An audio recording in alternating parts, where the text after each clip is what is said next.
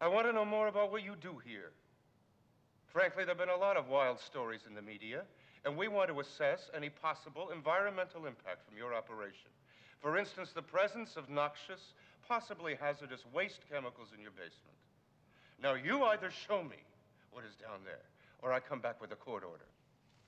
You go get a court order, and I'll sue your ass for wrongful prosecution. You can have it your way, Mr. Venkman.